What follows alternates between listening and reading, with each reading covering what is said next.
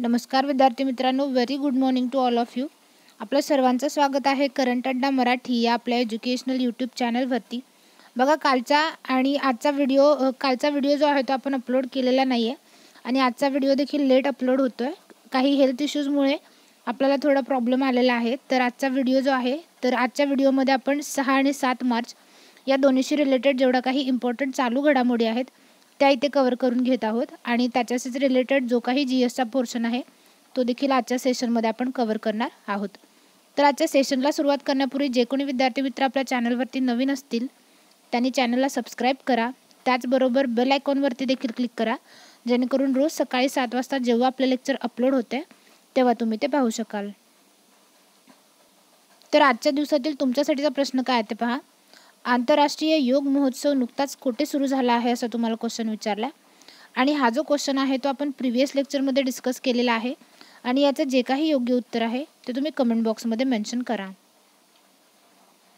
तर आजच्या सेशनमधील आपला पहिला क्वेश्चन काय ते पहा. कोलंबो बंदरातील वेस्टर्न कंटेनर टर्मिनलला विकस विकसित करण्याचा ठेका श्रीलंकेने नुकताच कोणत्या देशाला दिला आहे असं तुम्हाला विचारलं तर बघा या प्रश्नाचं तुमचं योग्य उत्तर आहे चार भारत. तर श्रीलंकेनं काय केलेलं आहे? कोलंबो बंदरातील वेस्टर्न कंटेनर टर्मिनलला विकसित करण्याचा किंवा त्याचा विकास करण्यासाठी जो ठेका आहे तो आपल्या देशाला म्हणजेच भारताला दिलेला आहे. बघा या टर्मिनलचा विकास करण्यासाठी भारत आणि जपानबरोबर एक असणारी औद्योगिक कंपनी तिला हा ठेका देण्यात आलेला आहे. आणि पस्तीस वर्षासाठी भारताला हे जे वेस्टर्न कंटेनर टर्मिनल आहे ते भाड्याने देण्यात आलेलं आहे विद्यार्थी मित्रांनो. बघा याच्यापूर्वीच श्रीलंकेनं काय केलेलं आहे? कोलंबो टर्मिनलमधील ईस्ट कंटेनर टर्मिनल आता आपण वेस्टर्न कंटेनर टर्मिनलशी रिलेटेड बघतोय. तर याच्यापूर्वी जे ईस्ट कंटेनर टर्मिनल होतं भारताला याच्याशीच रिलेटेड कॉन्ट्रॅक्ट दिलेलं होतं. पण ते परत श्रीलंकेने रद्द केलेलं होतं आणि कारण काय सांगितलेलं होतं बघा? तिथली जी कामगार संघटना आहे ती विरोध करत असल्यामुळे हे ईस्टर्न कंटेनर टर्मिनलचं कॉन्ट्रॅक्ट जे होतं ते भारताकडून काढून घेण्यात आलेलं होतं. आणि आता कोलंबो बंदरातील वेस्टर्न कंटेनर टर्मिनलचं जे ठेका आहे तो भारताला देण्यात आलेला आहे आणि साऊथ कंटेनर जे आहे ते चीनकडे आहे विद्यार्थी मित्रांनो. आता बघा कोलंबो टर्मिनल सॉरी कोलंबो बंदर आहे किंवा कोलंबो पोर्ट आहे ते इम्पॉर्टंट का आहे? कारण हे श्रीलंकेचं सर्वात मोठं त्याचबरोबर बिझी पोर्ट आहे विद्यार्थी मित्रांनो. आता इकडे जर तुम्ही बघाल तर इथं ट्रँग्युलर शेपमध्ये बऱ्यापैकी आहे. इकडे कोलंबो पोर्ट आहे. त्याच्यानंतर इथे आहे त्रिंकोमाली आणि इकडे आहे हम्मन टोटा पोर्ट तर बघा कोलंबो पोर्टमधील जे काही वेस्टर्न कंटेनर टर्मिनल आहे ते भारताला ठे याच्यावरती देण्यात आलेलं आहे भाडेतत्वावरती देण्यात आलेलं आहे. आणि याचा फायदा काय होणार आहे बघा भारताला हे पस्तीस वर्षासाठी भारताला भाडेतत्वावर देण्यात आलेलं आहे. आणि याच्यामध्ये जे काही प्रॉफिट मिळणार आहे किंवा जो काही भागीदारी आहे याच्यामध्ये तर पंचावन्न भारताला पन्नास टक्के याची भागीदारी मिळणार आहे.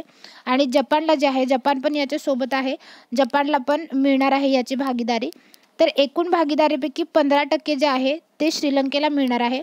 आणि पंच्याऐंशी टक्के जे काय आहे ते जपान आणि भारताला मिळणार आहे. आता या वेस्ट कोलंबो पोर्टचा किंवा वेस्टर्न कंटेनर टर्मिनलचा एरिया मोठा असल्यामुळे या याचा आपल्याला फायदा देखील होणार आहे. आता इकडे हंबनटोटा पोर्ट आहे ते बघत बघतोय आपण.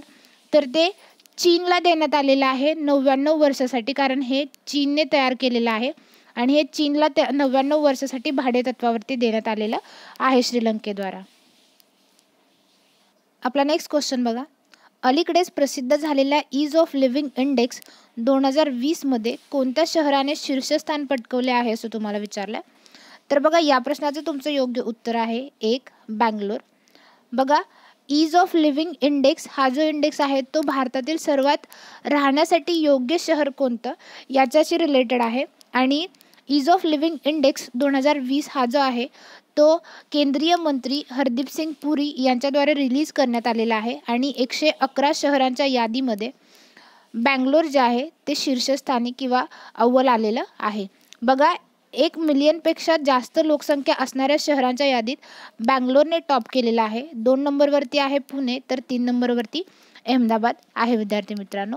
आणि एक मिलियनपेक्षा कमी लोकसंख्येच्या जर दृष्टिकोनातून बघायचं झालं तर टॉप केलेला आहे शिमलाने. त्याच्यानंतर दोन नंबरवरती आहे भुवनेश्वर आणि तीन नंबरवरती आहे सिल्वासा. आता बँगलोरने टॉप केलेला आहे तर बघा बँगलोर ही कर्नाटकची राजधानी आहे. जी वृषभावती नदीच्या किनारी आहे आणि जगातील सर्वात वेगानं वाढणारे टेक हब जे आहे ते बँगलोरच आहे विद्यार्थी मित्रांनो. त्याचबरोबर भारतातील पहिली गर्ल्स फुटबॉल अकॅडमी देखील बँगलोरमध्ये ओपन करण्यात आलेली आहे. आपला नेक्स्ट क्वेश्चन बघा. अलीकडे कोणत्या राज्यात मोठ्या प्रमाणात आग लागल्यामुळे सिमलीपाल टायगर रिझर्व चर्चेत आला आहे किंवा चर्चेत आला होता असं तुम्हाला क्वेश्चन विचारलं? तर बघा या प्रश्नाचं तुमचं योग्य उत्तर आहे तीन ओडिसा. बघा उडीसामध्ये काय आहे? सिमलीपाल व्याघ्र प्रकल्प आहे किंवा टायगर रिझर्व आहे आणि या टायगर रिझर्वला गेल्या दहा दिवसांपासून आग लागलेली आहे आणि याचा जवळपास एक तृतीयांश भाग जो आहे तो या आगीच्या विळख्यात आलेला आहे आणि याच्यामुळे ही न्यूज जी आहे ती चर्चेमध्ये आहे. तर ही न्यूज तुम्ही ब बरेच वेळेला बघितली देखील असेल आत्ता या रिसेंट डेजमध्ये की सिमलीपाल टायगर रिझर्वचा एक तृतीयांश भाग जो आहे तो या आगीच्या विळख्यात आलेला आहे. आणि ह्याची दोन कारणं मांडली जात आहेत. एक तर नैसर्गिक कारण काय मानले जात आहे?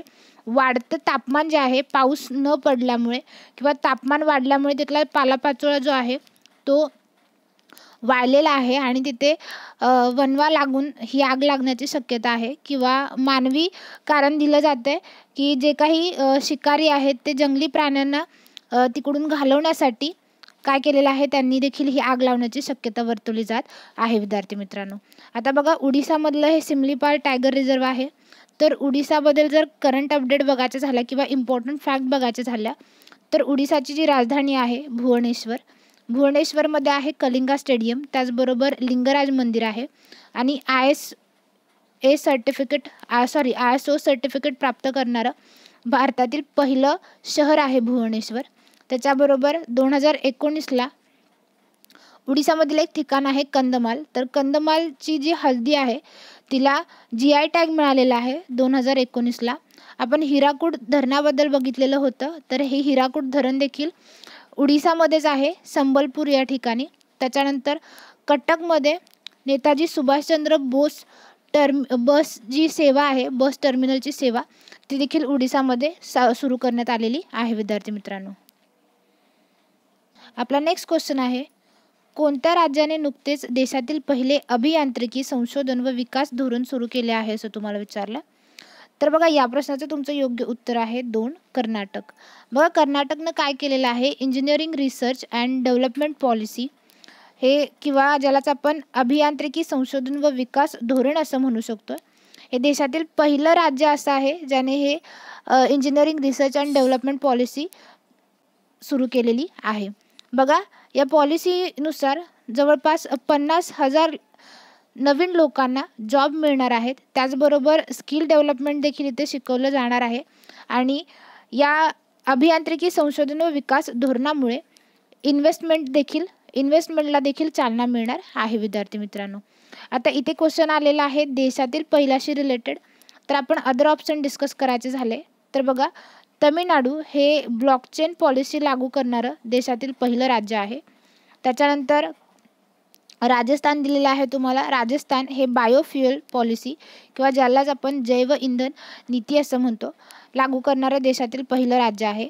त्याचबरोबर मेघालय दिलेलं आहे. जलनीती लागू करणारं हे देशातील पहिलं राज्य आहे विद्यार्थी मित्रांनो. आपला नेक्स्ट क्वेश्चन बघा.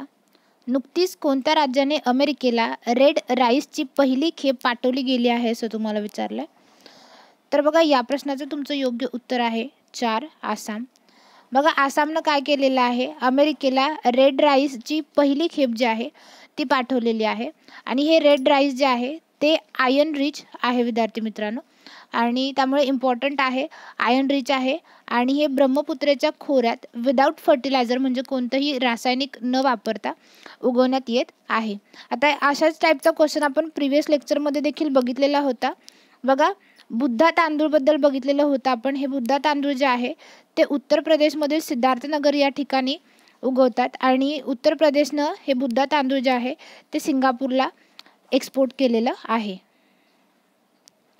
आपला नेक्स्ट क्वेश्चन आहे जम्मूमध्ये अरोमा मिशन अंतर्गत कोणत्या औषधी वनस्पतीची लागवड केली जात आहे असं तुम्हाला विचारलं? तर बघा या प्रश्नाचं तुमचं योग्य उत्तर आहे एक लव्हेंडर. बघा लव्हेंडर हे अरोमा मिशन अंतर्गत जम्मू काश्मीरमध्ये या वनस्पतीची लागवड केली जात आहे.